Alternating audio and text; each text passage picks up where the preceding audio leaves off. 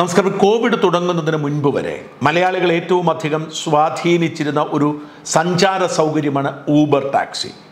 Uber വിളിക്കാത്ത മലയാളികൾ കുറവായിരുന്നു. ലോകമെമ്പാടും പടർന്നു പിടിച്ച ഒരു ടാക്സി സമ്പ്രദായമായിരുന്നു ഊബർ. കോവിഡോടുകൂടി മനുഷ്യരെല്ലാം വീട്ടിലിരുന്നപ്പോൾ ഊബർ ഏതാണ്ടൊക്കെ അങ്ങ് അവസാനിച്ചു പോയി. ഇപ്പോൾ ഊബർ തരംഗം ലഭ്യമല്ല. പലയിടങ്ങളിലും ഊബർ വിളിച്ചാൽ നമുക്ക് കിട്ടിയെന്നും വരില്ല. ഊബർ ഇത്രയേറെ മലയാളികളെ സ്വാധീനിക്കാൻ കാരണം അതിന്റെ അസാധാരണമായ നിരക്ക് കുറവാണ്. നമ്മളൊരു ഓട്ടോറിക്ഷ വിളിച്ചു പോകുന്നതിനേക്കാൾ ലാഭമാണ് പലപ്പോഴും ഊബർ വിളിച്ചു പോകുമ്പോൾ. സായിപ്പിന്റെ ഒരു ബിസിനസ് ശാസ്ത്രമാണ്. ഊബറായി ലോകം മുഴുവൻ പടർന്നതും നമ്മളെ സ്വാധീനിച്ചതും. നമ്മൾ നമ്മുടെ ലാഭം മാത്രം കണക്കിലെടുത്ത് ഊബറിൽ കയറി പോകുന്നു. എന്നാൽ ഈ ഊബർ ടാക്സി ഓടിക്കുന്നവരുടെ അവസ്ഥ എന്താണെന്ന് നമ്മൾ ആരും അന്വേഷിക്കുന്നേയില്ല. യഥാർത്ഥത്തിൽ സായിപ്പ് വളരെ കുറച്ച് മാർജിൻ ഇട്ടുകൊണ്ട് ഇങ്ങനെ ഒരു ബിസിനസ് സംരംഭം ആരംഭിക്കാൻ കാരണം അമേരിക്കക്കാരന്റെ ഒരു പ്രത്യേകതരം ജീവിതശാസ്ത്രമാണ്. അമേരിക്കയിൽ ഇത്തരത്തിൽ എന്തു സേവനം ഉപയോഗിച്ചാലും ടിപ്പ് കൊടുക്കണം. നമ്മൾ ഹോട്ടലിൽ പോയി ഭക്ഷണം കഴിക്കുമ്പോൾ ഇപ്പോൾ ടിപ്പ് കൊടുക്കാറുണ്ട്. പക്ഷെ നമ്മളിൽ പലരും ഇപ്പോഴും പത്ത് രൂപയും ഇരുപത് രൂപയും ഏറിയാൽ അൻപത് രൂപയുമാണ് ടിപ്പ് കൊടുക്കുന്നത്. അൻപത് രൂപയോ നൂറ് രൂപയോ ഒക്കെ ടിപ്പ് കൊടുക്കുന്നവർ കരുതുന്നത് ഞങ്ങൾ ഏറ്റവും വലിയ ടിപ്പ് കൊടുപ്പുകാരാണ് എന്നാണ്. എന്നാൽ യഥാർത്ഥത്തിൽ അമേരിക്കയിൽ പതിനഞ്ച് ശതമാനമാണ് ടിപ്പ് കൊടുക്കുന്നത്. അതായത് നിങ്ങൾ ആയിരം രൂപയുടെ ഭക്ഷണം കഴിച്ചാൽ നിങ്ങൾ നൂറ്റി അൻപത് രൂപ ടിപ്പ് കൊടുക്കണം. അത് അവിടുത്തെ ഒരു എഴുതപ്പെടാത്ത നിയമമാണ്. നമ്മളിൽ പലരും ഹോട്ടലുകളിൽ പോയി അയ്യായിരം രൂപയുടെയൊക്കെ ഭക്ഷണം കഴിക്കും. എന്നിട്ട് നമ്മൾ അമ്പതോ നൂറോ രൂപ ടിപ്പ് കൊടുക്കും. നമ്മൾ വലിയ ദാനശീലുക്കളാണ് എന്ന് സ്വയം കരുതി ഇറങ്ങിപ്പോരും. വാസ്തവത്തിൽ അതിന് ടിപ്പ് കൊടുക്കേണ്ടത് അഞ്ഞൂറ് രൂപയാണ്. ഈ ടിപ്പ് കൊടുക്കാത്തവരുമുണ്ട്. എന്നാൽ നമ്മൾ ആരെങ്കിലും ഈ ഊബർ ടാക്സിക്കാരന് ടിപ്പ് കൊടുക്കാറുണ്ടോ? വില അഞ്ച് രൂപയോ പത്ത് രൂപയോ ഒക്കെ കൊടുക്കുന്നവരുണ്ടാവാം. അതിനപ്പുറത്തേക്ക് ടിപ്പ് കൊടുക്കാറുണ്ടോ? എന്നാൽ ഈ ടിപ്പിന്റെ അടിസ്ഥാനത്തിൽ രൂപപ്പെട്ടതാണ് ഊബർ എന്ന് തിരിച്ചറിയുക. അമേരിക്കയിലും പാശ്ചാത്യ രാജ്യങ്ങളിലും ഊബർ ടാക്സി വിളിച്ചാലും പതിനഞ്ച് ശതമാനം വരെ ടിപ്പ് കൊടുക്കാറുണ്ട്. അത് അവിടുത്തെ രീതിയാണ് അവകാശമാണ്. അതുകൊണ്ടാണ് അവർ ഏറ്റവും കുറഞ്ഞ മാർജിനിൽ ഓടിക്കുന്നത്. അതായത് യഥാർത്ഥത്തിൽ നമ്മൾ കൊടുക്കേണ്ടത് കുറഞ്ഞ നിരക്ക് തന്നെയാണ്. കാരണം ലാഭം എടുക്കുന്നില്ല. പക്ഷേ ടിപ്പ് കൊടുക്കും എന്ന സങ്കല്പത്തിലാണ് അത് ചെയ്യുന്നത്. നമ്മൾ മലയാളികളാകട്ടെ ഊബറുകാരന് ടിപ്പ് കൊടുക്കുന്നേയില്ല. യഥാർത്ഥത്തിൽ ഈ ഊബർ ഇവിടെ അവസാനിച്ചതിന്റെ പ്രധാനപ്പെട്ട കാരണങ്ങളിൽ ഒന്ന് അതുതന്നെയാണ് എന്ന് മാത്രമല്ല ഒരു ഊബർ ടാക്സിക്കാരനോട് ഞാൻ ചോദിച്ച് സംസാരിച്ചപ്പോൾ അയാൾ പറഞ്ഞത് നാൽപ്പത്തൊൻപത് രൂപയാണ് ഊബറിന്റെ നിരക്കെങ്കിൽ അൻപത് രൂപ കൊടുത്തിട്ട് ഒരു രൂപ തിരിച്ചു ചോദിക്കുന്നവരാണ് മലയാളികളെന്നാണ് ഇനി അമ്പത്തിയൊന്ന് രൂപയാണെന്ന് കരുതുക. അമ്പതേ കൊടുക്കൂ. ഒരു രൂപ വരവ് വെച്ചോളാം പറയും. ഓർക്കണം ഇതാണ് നമ്മുടെ സംസ്കാരം. വാസ്തവത്തിൽ നമ്മളിൽ പലരും അറിയുന്നേയില്ല ഈ ഊബർ ടാക്സിക്കാർ അനുഭവിക്കുന്ന യാതനകളെ കുറിച്ച് എന്റെ ശ്രദ്ധയിൽപ്പെടുത്തിയത് ഡോക്ടർ എസ് എസ് ലാലിന്റെ ഒരു ഫേസ്ബുക്ക് പോസ്റ്റാണ്. കണ്ണു നിറയാതെ ആർക്കും വായിക്കാൻ കഴിയാത്ത ഒരു ഫേസ്ബുക്ക് പോസ്റ്റ്. ഡോക്ടർ ലാൽ കേരളത്തിന് നഷ്ടപ്പെട്ടു പോയ ഒരു വസന്തമായി ഞാൻ കരുതും. ലോകാരോഗ്യ സംഘടനയിലെ ഉന്നത പദവിയിലിരുന്ന പൊതുജനാരോഗ്യ മേഖലയിൽ അസാധാരണമായ നേട്ടങ്ങൾ കൈവരിച്ച മലയാളിയായ ഡോക്ടർ ലാൽ ഈ നാടിന് വേണ്ടി എന്തെങ്കിലും ചെയ്യാൻ വേണ്ടി കേരളത്തിലേക്ക് തിരിച്ചു വരുന്നു. നിർഭാഗ്യവശാൽ അദ്ദേഹം കോൺഗ്രസിലാണ് ചേർന്നത്. കോൺഗ്രസിന്റെ കഷ്ടകാല സമയമായിരുന്നു അത്. അതുകൊണ്ട് തന്നെ അദ്ദേഹത്തിന് കഴക്കൂട്ടത്തും അനുസരിച്ചിട്ട് നാണം കെട്ട തോൽവി ഏറ്റുവാങ്ങേണ്ടി വന്നു. അദ്ദേഹം പക്ഷേ അസാധാരണമായ ഉൾക്കാഴ്ചയുള്ള അസാധാരണമായ സാമൂഹ്യ ബോധമുള്ള ഒരു നല്ല മനുഷ്യനാണ്. ഡോക്ടർ ലാലിന്റെ കുറിപ്പുകൾക്ക് പിന്നിലെല്ലാം ഒരു ജീവൻ ഉണ്ടാവും. ഡോക്ടർ ലാൽ എഴുതിയ ഒരു അനുഭവക്കുറിപ്പ് വായിച്ച് കണ്ണു നിറയാത്ത ആരെങ്കിലും ഉണ്ടെങ്കിൽ നിങ്ങൾ മനുഷ്യരായി എന്നിവരില്ല തിരുവനന്തപുരത്ത് എയർപോർട്ടിൽ പോകാൻ ഊബർ വിളിച്ചതാണ്. വന്ന ഡ്രൈവർക്ക് ഒരു കോളേജ് വിദ്യാർത്ഥിയുടെ ലുക്ക്. ചോദിച്ചപ്പോൾ മുപ്പത്തിയേഴുകാരൻ രണ്ട് കുട്ടികളുണ്ട്. എന്നെ അറിയില്ല. കഴക്കൂട്ടത്തല്ല കേരളത്തിൽ ഒരിടത്തും മത്സരിച്ച ആരെയും അറിയില്ല. സ്വന്തം നാട്ടിലെ എം എൽ എ ആരെന്നും അറിയില്ല. ഇതെന്നിൽ കൗതുകമുണ്ടാക്കി ഞാൻ അയാളോട് കൂടുതൽ സംസാരിച്ചു. അയാൾ ഇരുപത്തൊന്ന് വയസ്സിൽ ഡ്രൈവറായി ഓട്ടോറിക്ഷ മുതൽ ബസ് വരെ ഓടിച്ചു. പിന്നീട് പ്രമുഖനായ ഒരു വ്യവസായിയുടെ ഡ്രൈവറായി. അഞ്ചു കൊല്ലം മുമ്പ് ആ ജോലി നഷ്ടമായി.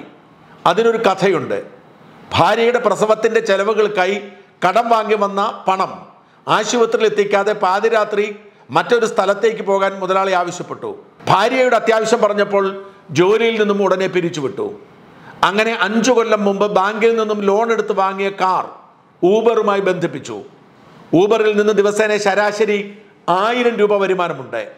അതുകൊണ്ടാണ് ജീവിതം നയിക്കുന്നത്. എന്നാൽ ആയിരം രൂപ സംഘടിപ്പിക്കുന്നതിന് പിന്നിലെ ത്യാഗമാണ് കേൾക്കേണ്ടത്. രണ്ടാഴ്ചയിൽ ഒരിക്കലാണ് വീട്ടിൽ പോകുന്നത്. അഞ്ചു വർഷമായി അയാൾ ഈ കാറിനുള്ളിൽ ജീവിക്കുന്നു. ഉറക്കം ഉൾപ്പെടെ ഇതിനുള്ളിൽ രാത്രി വൈകി ട്രിപ്പുകൾ കഴിഞ്ഞ് ഉറക്കം വരുമ്പോൾ റോഡരികിൽ ഒരു സുരക്ഷിത ഭാഗത്ത് വണ്ടി ഒതുക്കി അതിനുള്ളിൽ ഉറങ്ങും. കൊതുക് കയറാതിരിക്കാൻ വണ്ടിയുടെ ജനാലകൾ കൊതുക് വരെയുണ്ട് ഉഷ്ണമകറ്റാൻ ചെറിയൊരു ഫാനും രണ്ടും ചിത്രത്തിൽ കാണാം. പ്രഭാത കൃത്യങ്ങൾ പെട്രോൾ സ്റ്റേഷനുകളിൽ ഇതൊക്കെ സൗജന്യമായി അനുവദിക്കുന്ന പെട്രോൾ സ്റ്റേഷനുകളുണ്ട്. തിരുവനന്തപുരത്ത് വരുമാനം കുറയുമ്പോൾ കൊച്ചിയിലേക്ക് പോകും. കൊച്ചിയിൽ വിമാനത്താവളത്തിനടുത്ത് പാർക്കിംഗ് സ്ഥലമുണ്ട്. ഒരു രാത്രി പാർക്കിങ്ങിന് അൻപത് രൂപ. വണ്ടിക്കകത്ത് ഉറക്കം. ഇനി ഒരു മുറിക്കകത്ത് ഉറങ്ങണമെങ്കിൽ നൂറ് രൂപ. ഒരു കട്ടിലിനാണ് നൂറ് രൂപ. ചെറിയൊരു മുറിയിൽ അതുപോലെ അഞ്ചാറ് പേർ ഉറങ്ങും. എങ്കിലും നൂറ് രൂപയ്ക്ക് ഒരാൾക്ക് ഉറങ്ങാൻ കഴിയുന്നത് ചെറിയ കാര്യമല്ല. മാസത്തിൽ രണ്ടു ദിവസം ഒഴികെ ബാക്കി മുഴുവൻ ഒരു ചെറിയ കാറിൽ കഴിഞ്ഞ് അതിലുറങ്ങി കിട്ടുന്ന പണമെല്ലാം സൂക്ഷിച്ചു വെച്ച് ഭാര്യയെ പിന്തുണച്ച് കുട്ടികളെ പോറ്റി ജീവിക്കുന്ന ഒരു ചെറുപ്പക്കാരൻ. ചിരിക്കുന്ന മുഖം ആരോടും പരിഭവമില്ല. സ്വന്തം സുഖസൗകര്യങ്ങളെ പറ്റി ആലോചിക്കുന്നില്ല. രാപകൽ ഇത്രയും അധ്വാനിച്ച് ജീവിക്കുന്ന അയാൾ എന്തിന് നാട്ടിലെ എം എൽ എ അറിയണം? മത്സരിച്ച് തോറ്റ എന്നെ അറിയണം? എന്റെ സംശയം മാറി. സ്റ്റാർ ഹോട്ടലിലെ മുറിയിൽ തലയണയുടെ മാർദ്ദവക്കുറവിനെ പറ്റിയും റെസ്റ്റോറന്റിലെ സംഗീതത്തെ പറ്റിയും കുറ്റം പറയുന്നവർ നമുക്കിടയിലുണ്ട്. അവർക്കിടയിലാണ് അഞ്ചു കൊല്ലമായി. ചെറിയ കാറിനുള്ളിൽ ശരീരം നിവർത്താനാകാതെ ഉറങ്ങുന്ന ഈ ഊബർ ഡ്രൈവർ. കേരളത്തിലെ ഊബർ ചാർജ് താരതമ്യേന കുറവാണ്. കമ്പനിയുടെ കമ്മീഷനും ഇന്ധന ചെലവും കഴിഞ്ഞ് ദിവസവും ആയിരം രൂപ ഉണ്ടാക്കുന്നത് ചെറിയ കാര്യമല്ല. ചിലപ്പോൾ നാലും അഞ്ചും കിലോമീറ്റർ താണ്ടിയാണ് പുതിയ യാത്രക്കാരെ കിട്ടുന്നത്. മീറ്റർ ചാർജിനേക്കാൾ ഒരു രൂപയെങ്കിലും അധികം നൽകുന്നവർ അപൂർവവും. എങ്കിലും അധ്വാനിക്കാൻ തയ്യാറുള്ള ചെറുപ്പക്കാർക്ക് ജീവിക്കാൻ ഒരു മാർഗം തന്നെയാണ് ഊബർ. അടുത്ത തവണ ഊബറിൽ കയറുമ്പോൾ അല്പമെങ്കിലും അധിക പണം കൊടുക്കാൻ ശ്രമിക്കുക. മിക്കവാറും അത് ചെയ്യുന്നുണ്ടെന്ന് എനിക്കറിയാം. അത് തുടരുക. Doctor S S Lal. Doctor Lal വാസ്തവത്തിൽ ഈ കുറിപ്പ് വഴി ഉദ്ദേശിച്ചത് ഒരു കാര്യം മാത്രമാണ്. നിങ്ങൾ ഇനി മുതൽ ഊബറിൽ കയറുമ്പോൾ ഒരു ചെറിയ ടിപ്പെങ്കിലും കൊടുക്കണം എന്ന സന്ദേശം മാത്രം. അത് ഞാനും ആവർത്തിക്കുന്നു. നിങ്ങളിൽ നിന്ന് ഇത്രയധികം കുറഞ്ഞ നിരക്ക് ഇവർ ഈടാക്കുന്നതിന്റെ കാരണം അവർക്ക് ലാഭമില്ലാത്തത് കൊണ്ടാണ്. ഇതിൽ കമ്മീഷൻ കൊടുത്തതിന് ശേഷം കിട്ടുന്നത് കൊണ്ട് ഈ രാത്രിയും പകലും അധ്വാനിച്ചാൽ മാത്രമാണ് ആയിരം രൂപയെങ്കിലും ഒപ്പിക്കാൻ കഴിയുന്നത്. അതുകൊണ്ട് ദയവായി ലാൽ പറഞ്ഞതുപോലെ നിങ്ങൾ ഇനി ഊബറിൽ കയറുമ്പോൾ ഒരു അൻപത് രൂപയെങ്കിലും ടിപ്പ് കൊടുക്കാൻ ശ്രമിക്കുക. അതല്ല എന്നെ അത്ഭുതപ്പെടുത്തുന്നത്. ആരും പട്ടിണി കിടക്കാത്ത പിണറായി വിജയന്റെ ഈ സുന്ദരമായ നാട്ടിൽ ഇങ്ങനെ രണ്ടാഴ്ച കൂടുമ്പോൾ മാത്രം വീട്ടിൽ പോകാൻ കഴിയുന്ന രാത്രിയും പകലും ജോലി ചെയ്ത് ജീവിക്കുന്ന എന്നിട്ട് പോലും ദിവസം ആയിരം രൂപ പോലും ഉണ്ടാക്കാൻ കഴിയാത്തവർ ഉണ്ടേ എന്നത് ഞെട്ടിക്കുന്നതാണ്.